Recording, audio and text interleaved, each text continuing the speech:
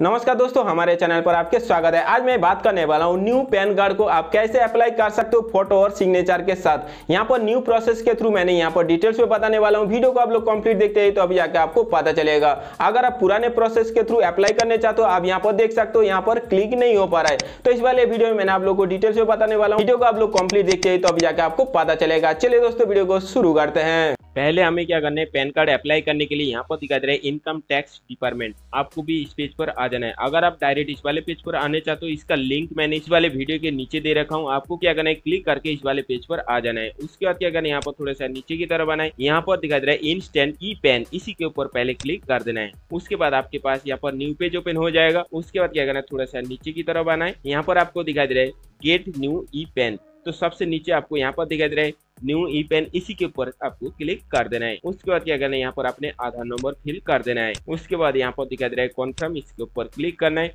उसके बाद यहाँ पर कंटिन्यू दिखाई दे रहा है कंटिन्यू में क्लिक करना है। उसके बाद क्या करना है, यहाँ पर थोड़ा सा नीचे की तरफ़ आना है। ये जो छोटा सा बॉक्स दिखाई दे रहा है, इसके ऊपर क्लिक करना है। उसके बाद यहाँ पर कंटिन्यू दिखाई दे रहा है कंटिन्यू में क्लिक करना है उसके बाद अपने रजिस्टर मोबाइल नंबर पे ओटीपी आएगा आपको क्या करना है यहाँ पर ओटीपी फिल करना है अब ओटीपी फिल करने के बाद यहाँ पर जो छोटा सा बॉक्स दिखाई दे रहा है इसी के ऊपर क्लिक करना है उसके बाद यहाँ पर कंटिन्यू दिखाई दे रहा है कंटिन्यू में क्लिक करना है यहाँ पर नेक्स्ट पेज ओपन हो जाएगा अगर आप यहाँ पर डिटेल्स चेक करने चाहते हो एक एक चीज़ आप यहाँ पर चेक कर सकते हो उसके बाद क्या करना है यहाँ पर नीचे की तरफ़ आना है यहाँ पर चेक बॉक्स में क्लिक करना है उसके बाद कंटिन्यू में क्लिक करना है और एक बार यहाँ पर कंटिन्यू में क्लिक करना है अब हमारे यहाँ पर पैन कार्ड बन तैयार हो चुका है जैसे कि आपको यहाँ पर दिखाई दे रहा है सक्सेसफुल और उसके बाद यहाँ पर रिफरेंस नंबर आपको मिल जाएगा। तो हमें क्या करना है? इसके बाद फास्ट पेज पर दोबारा आ जाना है। अब फास्ट पेज पर आने के बाद क्या करना है? थोड़ा सा नीचे की तरफ़ आना है। यहाँ पर दिखा दे रहा है इंस्टेंट ई पेन इसी के ऊपर क्लिक करना है दोबारा। उसके बाद क्या करना है? थोड़ा सा नीचे की तरफ़ आना है। पैन कार्ड अप्लाई करने के टाइम इसके ऊपर क्लिक करना होता है। पैन कार्ड के क्लेम स्टेटस चेक करने के लिए या पैन कार्ड डाउनलोड करने के लिए यहाँ पर दिखाई दे रहा है कंटिन्यू कंटिन्यू के ऊपर क्लिक करना है। उसके बाद आपको क्या करना है? अपने आधार नंबर यहाँ पर फिल करना है। आधार नंबर फिल करने के बाद यहाँ पर कंटिन्यू दिखाई दे रहा है। कंटिन्यू में क्लिक करना है। नेक्स्ट आपके रजिस्टर मोबाइल नंबर पे एक ओटीपी आया आपको, क्या करना है, यहाँ पर ओटीपी फिल करना है। उसके बाद आपको यहाँ पर कंटिन्यू दिखाई दे रहा है कंटिन्यू में क्लिक करना है। लेकिन आपको यहाँ पर एक चीज़ ध्यान रखना है पैन कार्ड बनने के बाद आपको 10 मिनट बाद ही आपको यहाँ पर ट्राई करना है, नहीं तो आपके पास ये वाले ऑप्शन नहीं आएगा। उसके बाद क्या करना है, यहाँ पर दिखा दे रहा है डाउनलोड ई पेन इसके ऊपर क्लिक करना है,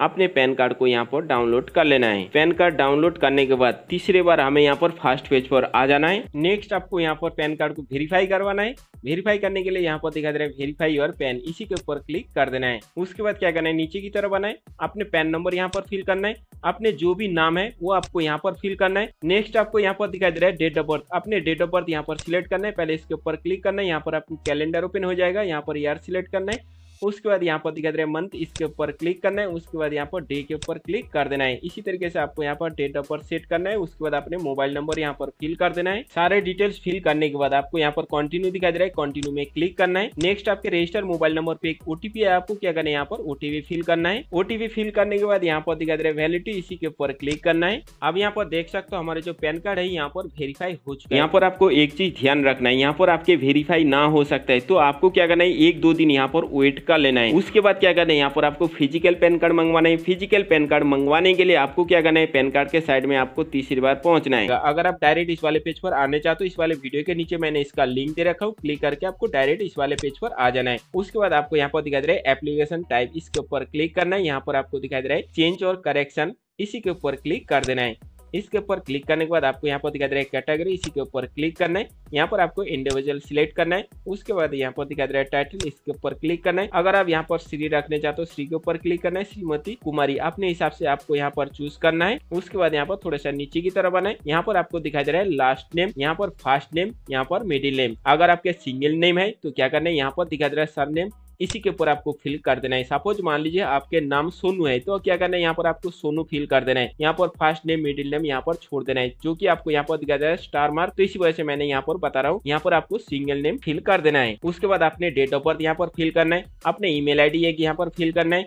उसके बाद अपने मोबाइल नंबर यहाँ पर फिल करना है उसके बाद यहाँ पर यस के ऊपर क्लिक करना है अपने पैन नंबर यहाँ पर फिल करना है उसके बाद यहाँ पर आपको चेक बॉक्स दिखाई दे रहा है इसके ऊपर क्लिक करना है उसके बाद ये जो कैप्चर दिखाई दे रहा है वाले कैप्चर को यहाँ पर फिल करना है उसके बाद आपको और थोड़ा सा नीचे की तरफ़ आना है यहाँ पर सबमिट दिखाई दे रहा है सबमिट में क्लिक करना है उसके बाद आपको यहाँ पर एप्लीकेशन नंबर मिल जाएगा आपको क्या करना है यहाँ पर नोट करके रख लेना है उसके बाद यहाँ पर दिखाई दे रहा है कंटिन्यू इसी के ऊपर क्लिक करना है उसके बाद यहाँ पर सेव दिखाई दे रहा है सेव में क्लिक करना है उसके बाद यहाँ पर नीचे की तरफ़ आना है अगर आप चाहते हो अपने आधार कार्ड में जो भी डिटेल डिटेल्स है। उसी के थ्रू आप यहाँ पर केवाईसी करने चाहते हो तो आपको क्या करना है? इसके ऊपर क्लिक करना है। अगर आप चाहते हो अपने मन पसंद की यहाँ पर सिग्नेचर अपने मन पसंद की फ़ोटो ऐड करना है तो क्या करना है? इसी के ऊपर क्लिक करना है। अगर आप इसके ऊपर क्लिक करते हो तो आपको यहाँ पर ध्यान रखना है फ़िज़िकल यहाँ पर पैन कार्ड ऑफ़िस में आपको डॉक्यूमेंट्स भेजना है। तो इसी वजह से मैंने यहाँ पर बीच वाले पे क्लिक कर दिया। उसके बाद क्या करना है? नीचे की तरफ़ आना है। अगर आपको फ़िज़िकल पैन कार्ड चाहिए तो क्या करना है? इसी के ऊपर क्लिक करना है।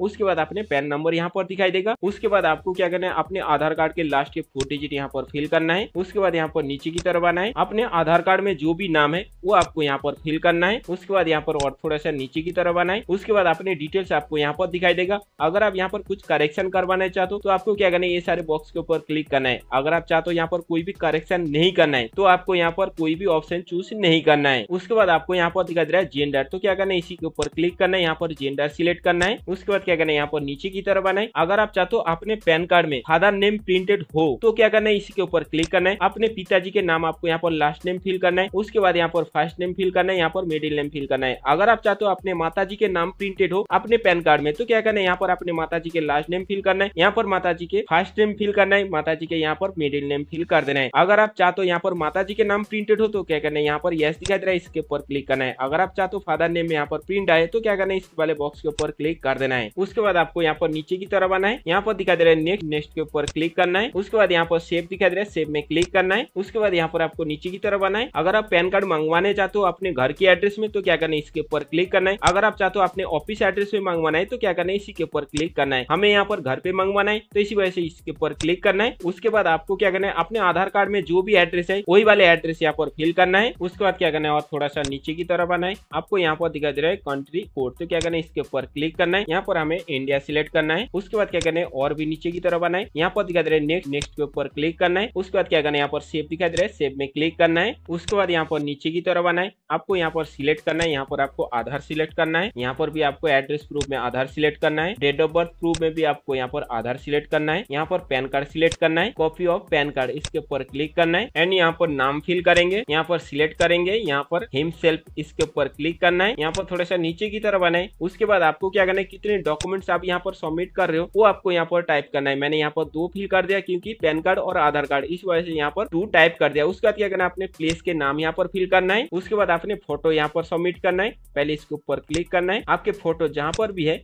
वो आपको यहाँ पर पहले चूज़ कर लेना है फ़ोटो चूज़ करने के बाद यहाँ पर ओपन दिखाई दे रहा है ओपन में क्लिक करना है आपको यहाँ पर ध्यान रखना है पचास के से नीचे साइज़ होना चाहिए उसके बाद यहाँ पर अपलोड दिखाई दे रहा है अपलोड में क्लिक करना है हमारे यहाँ पर फ़ोटो सेट हो चुका है उसके बाद क्या करना है यहाँ पर अपने सिग्नेचर सेट करना है एक प्लेन पेज में आपको यहाँ पर सिग्नेचर करके यहाँ पर आपको सबमिट करना है साइज़ होगा अब यहाँ पर देख सकते हो पचास के से नीचे अब साइन अपलोड करने के लिए इसके ऊपर क्लिक करना है आपके साइन जहाँ पर भी है वो आपको यहाँ पर चूज़ कर लेना है सिग्नेचर के इमेज सिलेक्ट करने के बाद यहाँ पर ओपन दिखाई दे रहा है ओपन में क्लिक करना है उसके बाद यहाँ पर अपलोड दिखाई दे रहा है अपलोड में क्लिक करना है। अब यहाँ पर देख सकते हो, हमारे यहाँ पर इमेज सेट हो चुका है। उसके बाद क्या करना है, यहाँ पर दिखाई दे रहा है एड डॉक्यूमेंट्स इसी के ऊपर क्लिक करना है। अब यहाँ पर देख सकते हो हमारे यहाँ पर दो इमेज सेट करने का ऑप्शन आ चुका है पहले क्या करना है यहाँ पर दिखा दे रहा है आधार तो क्या करना है इसके ऊपर पहले क्लिक करना है अपने आधार कार्ड को यहाँ पर चूज़ कर लेना है पहले आधार कार्ड के इमेज चूज़ करने के बाद क्या करना है यहाँ पर ओपन दिखाई दे रहा है ओपन के ऊपर क्लिक करना है हमारे यहाँ पर आधार कार्ड सेट हो चुका है उसके बाद क्या करना है यहाँ पर पैन कार्ड को सेट करना है पैन कार्ड सेट करने के लिए इसके ऊपर पहले क्लिक करना है यहाँ पर हमें पैन कार्ड चूज़ करना है पैन कार्ड चूज़ करने के बाद यहाँ पर ओपन दिखाई दे रहा है ओपन में क्लिक करना है उसके बाद आपको यहाँ पर दिखाई दे रहा है अपलोड अपलोड में क्लिक करना है अब यहाँ पर देख सकते हो हमारे यहाँ पर सेट हो चुका है, उसके बाद क्या करना है? यहाँ पर दिखाई दे रहा है सबमिट सबमिट में क्लिक करना है। उसके बाद आपके पास इसी तरीके से पेज ओपन हो जाएगा। आपको क्या करना है? थोड़ा सा नीचे की तरफ़ बनाए। अपने पैन नंबर आपको यहाँ पर दिखाई देगा। अपने आधार कार्ड के स्टार्टिंग के एट डिजिट आपको यहाँ पर फिल करना है। उसके बाद आपको क्या करना है? थोड़ा सा नीचे की तरफ़ बनाए। अगर आप यहाँ पर डिटेल्स चेक करने चाहते हो और एक बार चेक कर सकते हो, सबसे नीचे की तरफ़ आने के बाद आपको यहाँ पर दिखाई दे रहा है प्रोसीड प्रोसीड के ऊपर क्लिक करना है। अगर आप चाहते हो कुछ भी एडिट करना है तो क्या करना है? यहाँ पर दिखा दे रहा है एडिट इसके ऊपर क्लिक करके कुछ भी आप यहाँ पर एडिट कर सकते हो। उसके बाद क्या करना है? यहाँ पर प्रोसीड के ऊपर क्लिक कर देना है। उसके बाद आपको यहाँ पर पेमेंट करना है। तीन ऑप्शन आपको यहाँ पर दिखाई देगा। डिमांड ड्राफ्ट के थ्रू भी आप यहाँ पर कर सकते हो। लेकिन आपको यहाँ पर चूज़ नहीं करना है क्योंकि पेमेंट होने में बहुत यहाँ पर टाइम लगेगा। आपको क्या करना है? यहाँ पर दिखाई दे रहा है ऑनलाइन पेमेंट थ्रू पेटीएम तो क्या करना है? इसी के ऊपर क्लिक कर देना है। इसके ऊपर क्लिक करने के बाद आपको यहाँ पर थोड़ा सा नीचे की तरफ़ आना है। उसके बाद आपको ये जो छोटा सा बॉक्स दिखाई दे रहा है, इसके ऊपर क्लिक करना है। यहाँ पर दिखाई दे रहा है प्रोसीड टू पेमेंट इसी के ऊपर क्लिक करना है।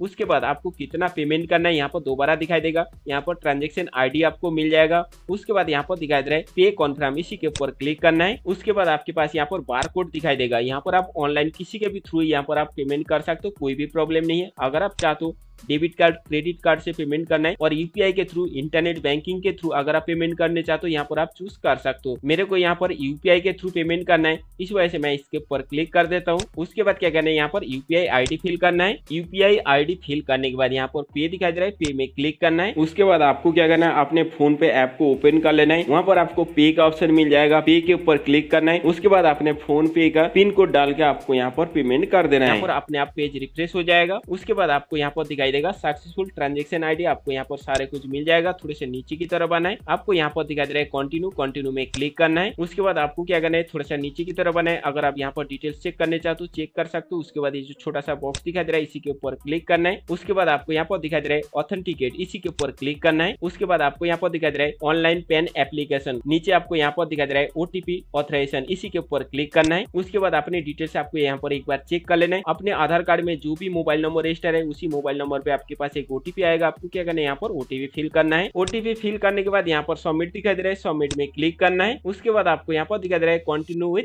ई सिग्नेचर इसी के ऊपर क्लिक करना है। उसके बाद आपको यहाँ पर छोटा सा बॉक्स दिखाई दे रहा है, इसी के ऊपर क्लिक करना है। उसके बाद यहाँ पर आधार नंबर फिल करना है। यहाँ पर आप आधार नंबर भी फिल कर सकते हो, नहीं तो वीआईडी नंबर भी फिल कर सकते हो। उसके बाद यहाँ पर दिखाई दे रहा है सेंड ओटीपी इसी के ऊपर क्लिक करना है। अपने रजिस्टर मोबाइल नंबर पे और एक बार ओटीपी आएगा तो क्या करना है, यहाँ पर ओटीपी फिल करना है। ओटीपी फिल करने के बाद यहाँ पर दिखा दे रहा है वेरीफाई ओटीपी इसी के ऊपर क्लिक कर देना है। उसके बाद आपके पास इसी तरीके से पेज ओपन हो जाएगा। आपको क्या करना है? यहाँ पर पीडीएफ ओपन करने के लिए अपने डेट ऑफ़ बर्थ यहाँ पर फिल कर देना है। डेट ऑफ़ बर्थ फिल करने के बाद यहाँ पर ओके दिखाई दे रहा है। ओके में क्लिक करना है। अब यहाँ पर देख सकते हो हमारे जो फॉर्म है, यहाँ पर ओपन हो चुका है। अगर आप इसको डाउनलोड करने चाहते हो, यहाँ पर आप डाउनलोड कर सकते हो। अगर आप यहाँ पर कुछ भी चेक करने चाहते हो, यहाँ पर आप चेकआउट भी कर सकते हो।